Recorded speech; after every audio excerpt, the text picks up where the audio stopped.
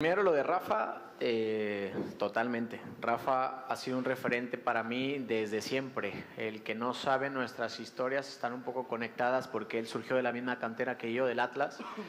Yo tengo un hermano mayor que es de su edad y jugó con él eh, en el Atlas, en las juveniles. Entonces yo lo conocía de, por decir algo, de no ser nadie, de cuando él tenía 10 15 años, 16 años que jugaba con mi hermano.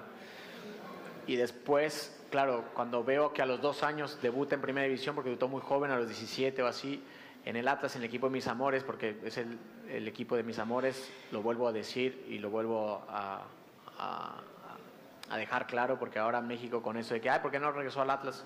Atlas voy a ser Atlas de toda la vida, eso no se puede quitar, el, color, así crecí y lo, lo voy a amar toda la vida. Pero bueno, las circunstancias se dan como se dan.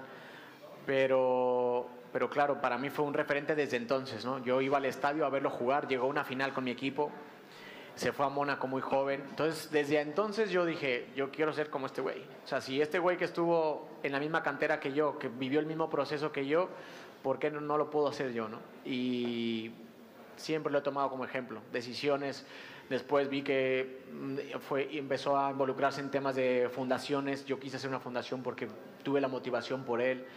Eh, y ahora es una vez más. O sea, una vez más cuando surgió lo de León, lo primero que pensé, dije, le voy a hablar a Rafa.